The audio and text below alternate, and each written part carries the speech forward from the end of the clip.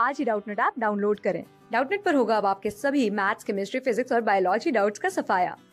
बस अपने क्वेश्चन की फ़ोटो खींचो, उसे क्रॉप करो और तुरंत वीडियो सोल्यूशन पाओ। Download now hello guys question में बोल रहा है कि two circular disc of the same mass two circular disc of the same mass and the thickness are made from the metal metals having density rho and and rho two, यानी कि रो और रो one और रो to के density से दो हम क्या किए, डिस्क बनाए, जिसका कि मास सेम है और थिकनेस सेम है, ठीक है? तो और क्वेश्चन आगे बोला भाई the ratio of their moment of inertia about an axis passing through the centre is तो रेशियो जो है मोमेंट ऑफ़ इनर्सिया कितना होगा, जो कि सेंटर से पास करेगा, वो हमें बताना है। तो यहाँ पे अगर हम देखें तो ये हमारा क्या है कि यहाँ पे डिस्क है, ठीक है? ये डिस्क मान लेते हैं, इसको मैं क्या करता हूँ, मिटा देता हूँ। ये क्या हमारा डिस्क है? और यहाँ पे जो एक्सिस की, जिसके एक्सिस के अबाउट हमें पूछा गया है, वो है ये एक्सिस मान लेते हैं, ठीक है? वो ये एक्सिस है। इसकी, इस एक्सिस के अबाउट हमें क्या पूछा गया कि मोमेंट ऑफ़ इनर्सिया कितना होगा? आई कितना होगा? वो हमें बता दो, ठीक है? तो बहुत ही इजी सा क्वेश्चन है। तो हम इसमें क्या करेंगे कि इसका आई लिखेंगे। सर्कुलर डिस्क है तो सर्कुलर डिस्क का आई क्या होता है? ये होता है M R square upon two अब दोनों का मास क्या दिया गया है? दोनों मेटल का सेम दिया गया है, ठीक है? मास सेम दिया गया, यानी कि रेडियस डिफरेंट होगा। तो मास इज़ इक्वल टू कितना हो जाएगा? रो इंटू वॉल्यूम होगा, ठीक है? तो mass is equal to rho into volume volume की जगह क्या लिख सकते हैं?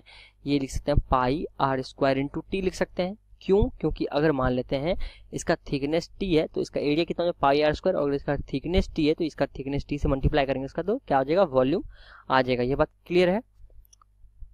तो एम इज़ इक्वल टू आ जाता है rho pi T into R square तो आर स्क्वायर का वैल्यू कितना आता है? ये होता है M rho sorry M upon rho pi T आता है। क्यों? क्योंकि हमें आर स्क्वायर हटाना है।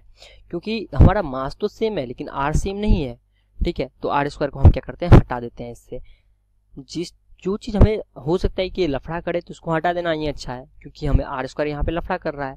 आर स्क्वायर हमें आर के बारे में कुछ बताया नहीं कि अगर मास सेम है थिकनेस सेम है तो आर ही बढ़ेगा, घटेगा, और तो कुछ है ही नहीं, ठीक है? तो मास कितना लिख सकते हैं? M into R square M upon two into R square के बदले क्या लिख सकते हैं? M upon rho pi into T लिख सकते हैं।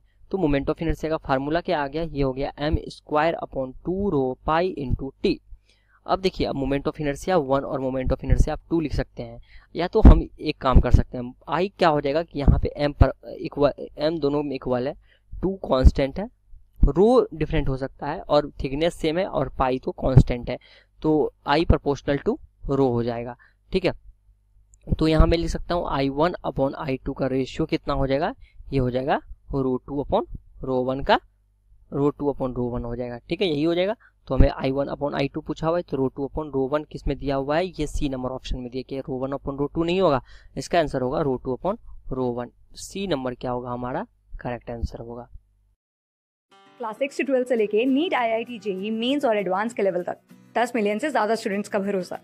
आज ही डाउनलोड करें डाउट नेट आप या व्हाट्सअप कीजिए अपने डाउट्स आठ चार सौ चार सौ चार सौ पर।